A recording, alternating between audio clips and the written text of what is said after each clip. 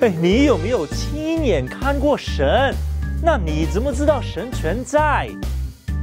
生命的起源？哎，进化论很多科学家已经接受，解释了一切，哪有神设计？我知道你一定会说，生命从随机的意外进化而来，机会很渺茫吧？哎，渺茫也有机会呀。彩票也会有人中，对吗？欢迎大家观看逢星期四播放的《信不信由理》，我是梁伟刚全道，我们一起从呼教学的角度去探讨基督教信仰的合理性。凭信心，我们去接收一会看不见的神，真的会让很多人怀疑的。但是你有没有想过？神借着他所创造的天地万物，借着他设计的每一个生命，神每一刻都告诉我们他的存在。罗马书的经文，自从做天地以来，神的永能和神性是明明可知的，虽是眼不能见，但借着受作之物就可以晓得。叫人无可退诿。基督教的世界观就是一花一草，每一个生命都见证背后全能的创造主。相反，无神论者就一定要相信生命是一个随机的意外带来的结果，没有生命的事物突然变成有生命的人、动物、植物等等。那我们就去想一想，那一个观点比较合理了。当我们玩 Scrabble 拼字游戏的时候，随便拿一些字母出来，大概是这样吧。哎，会不会你拿出来的时候随便放一放，会有这一些字已经拼好了，我们也可以明白了？当然没可能吧。当我们在沙滩的时候看见 Help。你怎么去解释了？是不是自然定律的结果啊？哎，那些海浪啊、风啊，刷了几千亿年，一定会刷出这些字出来给我们明白，对不对？当然不可能啊！我们的经验告诉我们，所有的信息一定是来自有思维、有设计的来源。那些短短的。几个字母的信息，我们已经说一定有智能的设计。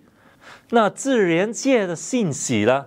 自然界充满着复杂很多很多倍的信息哦。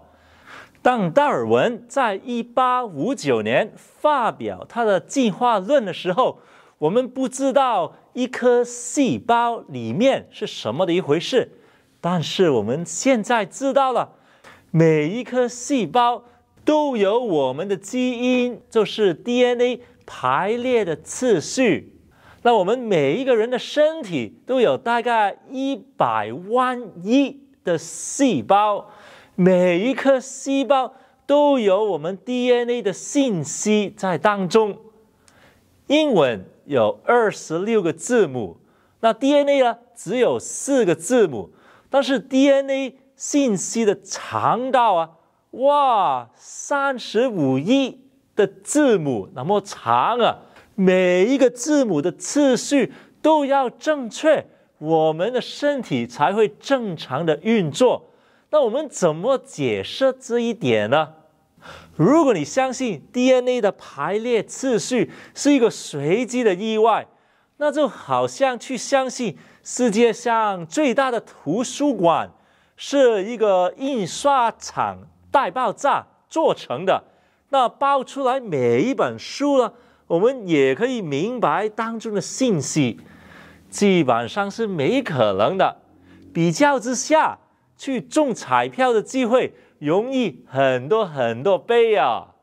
微软的创办人 Bill Gates 曾经这样说：“DNA 就好像一个电脑程序，但远比我们。”填写任何软件先进的多了，那我成为全道人之前是一个软件工程师，花了九年时间，每天写那个电脑程序，所以我很清楚的知道，有电脑程序一定是有一会程序的设计员才会有的，来自思维，来自智能的设计，没可能是一个随机的意外。我们就有一个电脑程序，或者是 DNA 排列的次序。